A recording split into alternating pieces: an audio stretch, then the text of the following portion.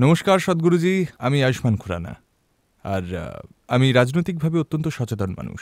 রাজনৈতিক দিক থেকে ভারত অত্যন্ত সংবেদনশীল জায়গায় রয়েছে, যেহেতু এটা বহুত্ববাদী সমাজ। আমরা বহু সংস্কৃতি, ধর্ম, অঞ্চল, জাতি, বর্ণের দেশ।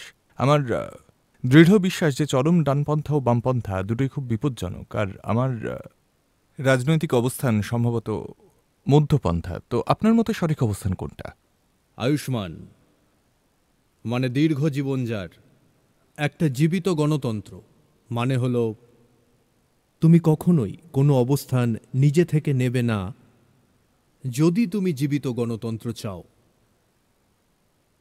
এটা একটা চূড়ান্ত রূপ ধারণ করেছে ইউনাইটেড স্টেটসে। এটা যেন দুটো আলাদা ধর্মে পরিণত হয়েছে ইউনাইটেড স্টেটসে। হয় তুমি ডেমোক্রেট, না হয় রিপাবলিকান। না, আমার দাদু আসলে রিপাবলিকান ছিলেন, আমার বাবা রিপাবলিকান ছিলেন, তাই আমিও রিপাবলিকান। যেন আগে থেকেই সব কিছু ঠিক করা আছে।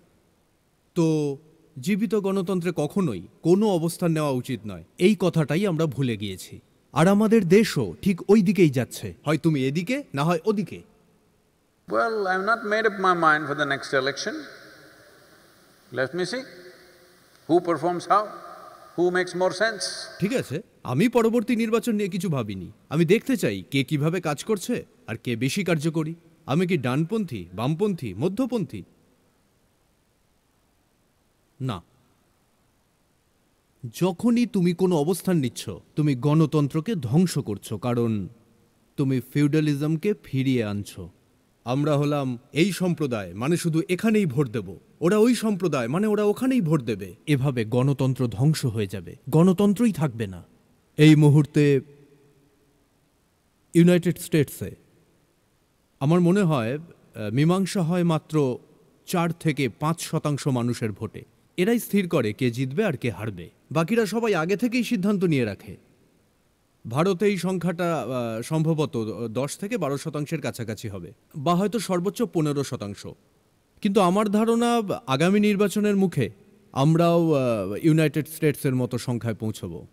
কারণ এটা এতটাই বিকৃত হচ্ছে যে তোমাকে কোথাও না কোথাও থাকতেই হবে। তুমি বলতে পারো না যে তোমার কোনো অবস্থান নেই। তুমি যাকেই ভোট দাও না কেন? গুরুত্বপূর্ণ বিষয় হলো রক্তপাত না করে ক্ষমতার পরিবর্তন করা। আর এটাই গণতন্ত্রের মহিমা। কিন্তু যখনই তুমি জাতিগত মানসিকতা সম্পন্ন হবে, নিজেকে এই জাতি বা ওই জাতির বলে মনে করবে, তুমি আবার সেটাকে সেখানেই নিয়ে যাবে, যেখানে ক্ষমতা পরিবর্তন করতে চাইলে আবার জনযুদ্ধ শুরু হবে। ঠিক এটাই হবে। সুতরাং আয়ুষ্মান তোমার কোনো অবস্থান নেওয়াই উচিত নয়।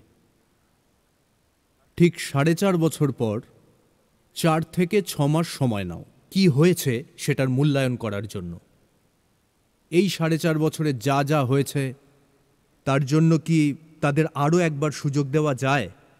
নাকি কিছু নতুন মানুষকে ক্ষমতায় আসার সুযোগ দেওয়া উচিত? আর প্রত্যেক নাগরিককে এই বিষয়টা নিয়ে ভাবতে হবে শেষ তিন থেকে ছ মাসের মধ্যে।